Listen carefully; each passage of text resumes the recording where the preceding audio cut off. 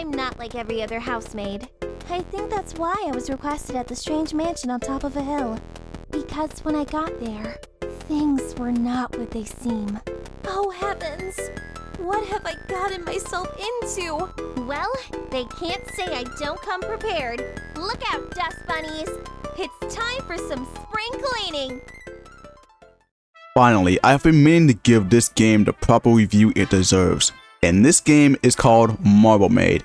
When I saw the trailer for the Nintendo Switch, I immediately had to get a day one, as it looked very interesting, and this was around the time when Seven Pirates H was on its way. It's been two years since I picked it up, and it's been over five months since I played it. So, does it still hold up to this day? Let's find out. Goki Genyo everyone, Star the Protagonist is here, and this is my review on Marble Maid. Marble Maid was originally for Steam, released on November 4th, 2020. It was developed and published by Shady Corner Games, an indie developer slash publisher who is known for making raunchy indie games like Shady Lewd Kart, a hentai kart racer which looks pretty fun. They even did a bunch of collaborations for the game, like with the artist Depiction bringing their characters Bonbon and Choo Choo into the game. They even added Zone-tan from Zone Tunes Onyx from Aeromancer, and of course because this is a lewd kart racer, they couldn't resist collaborating with Project Melody.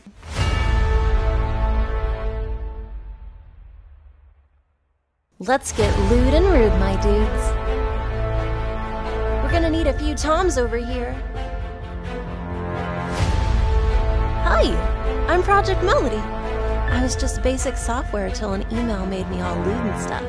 Honestly, it makes sense considering how much of an impact she's made throughout the 2020s. Though if they were to do more DLC, I'd love for them to collaborate with other raunchy VTubers like Fifi and Lucy Pyre. The game would also have Marble Maid in it 8 months before having her own game. It did well on Steam, but fast forward to 2022, it would also be released on a Nintendo Switch with the help of East Asia Soft, the same publisher behind 7 Pirates H. So the Switch version will be the one I'll be looking at for this review. You'll see why once we go into this review. One day, a cute little maid was hired to clean a mansion as it was pretty dirty. Little did she know it would be infested with dust bunnies. So in order to complete her task, she has to get down and dirty with the dust bunnies, both literally and sexually. So you're the maid inside a marble, which makes sense for the title of the game. And since you're rolling around inside a marble, you can expect the movement to be just like any other marble game. However, this is more like Super Monkey Ball except you're maid rolling around inside a marble. Now I will say the movement isn't all that bad. Rolling down certain paths and trying to get where you need to go doesn't ruin my enjoyment of the game. You can jump anywhere you want for the most part, and if you hold down the Y button, you'll be able to do a Sonic the Hedgehog and spin dash your way through obstacles. But don't use it too much or else you'll end up falling off the stage. So the gameplay and the controls are pretty solid. I do wish they could have given her a double jump, but it's just a nitpick, and it still plays well without it. There are 5 stages for you to go through, and each stage has 10 levels to complete. The goal for each level is to collect at least 3 dust bunnies in order to open the exit. But you'll need to do it fast before the timer hits 0 and you have to redo the level all over again. Thankfully, you have infinite lives, so you can keep going until you can complete the level. But let's not act like this game is a super cakewalk. Every level has a bunch of obstacles for you to go through, which leads us to the stages themselves. The first area acts as a tutorial stage for you to learn the controls and the gameplay. The second area is the kitchen where you'll have to avoid getting hit by the toasters since they shoot flames at certain points. There's also cleavers to avoid as well, platforms that'll fall if you stand on them for more than 3 seconds, and some levels will have the lights off. So you'll have to find lit up can candles in order to see where you're going and this applies to the other three areas. The third area is the bathroom where there's ice blocks you can roll on, but it prevents you from jumping. There's also fans that blows you from obstacles at certain points.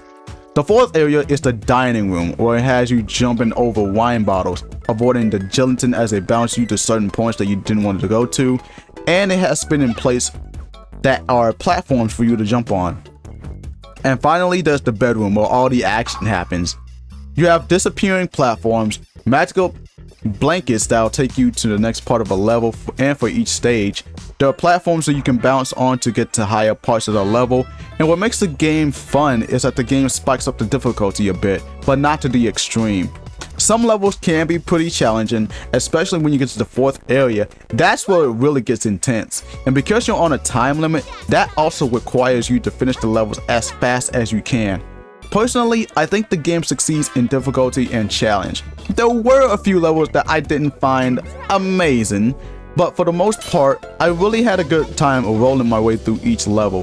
There are also hidden levels within the levels you can find, and after you complete the game, you'll unlock the harder version of each level with even less time for you to have.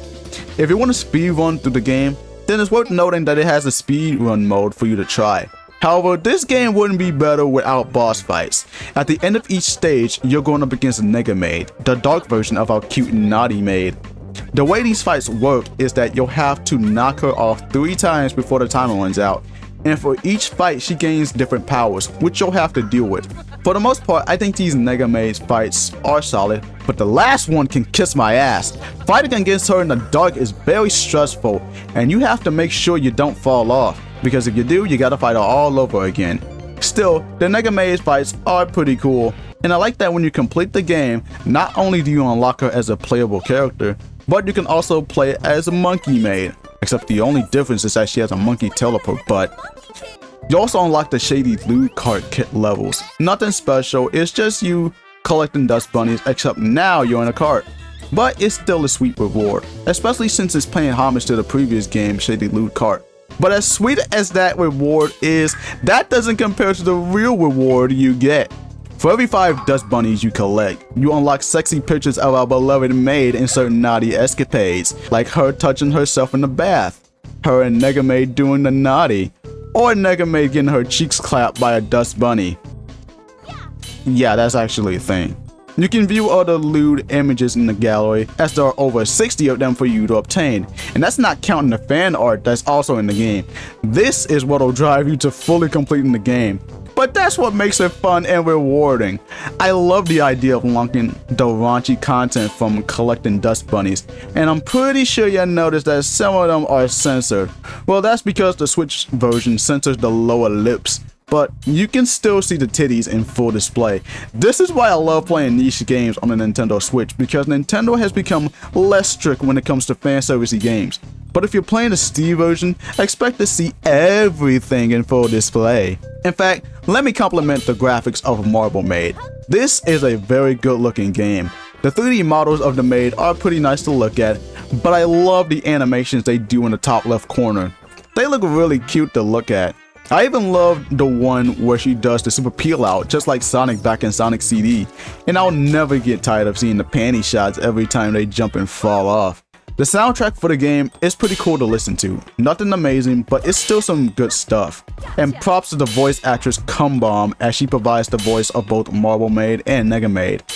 And I'm just saying this right now, if you really are not into lewd shit, just stay away from her Twitter. I'm telling you right now. Overall, Marble Maid is what I consider to be a fun marble platformer. The gameplay is good, the controls are pretty nice, the level adds a good amount of challenge, and I also love the sexy and naughty content that you unlock throughout the game. Now, this isn't a one night stand because the sequel is in the works, where it centers on Nega Maid this time. And hopefully, if it gets a Switch release, I'll be able to review it as well. But with what we have now, Marble Maid is still a fun game from start to finish. And even if you don't like the raunchy images, you can avoid the gallery. Personally, I don't mind seeing them because I am a cultured little munchkin. And this cultured little munchkin will give Marble Maid an 8.5 out of 10. Shady Corners, a job well done. With that being said, thank you all for watching, and until then, this is Star the Protagonist signing out. As always, Goki Genyo, and have a star-tastic day, everyone. If you enjoyed today's video, then be sure to like, comment, subscribe, and turn those notifications on to join the Star Nation. Also, be sure to follow my Twitter, and while you're at it, check out my previous video. Now.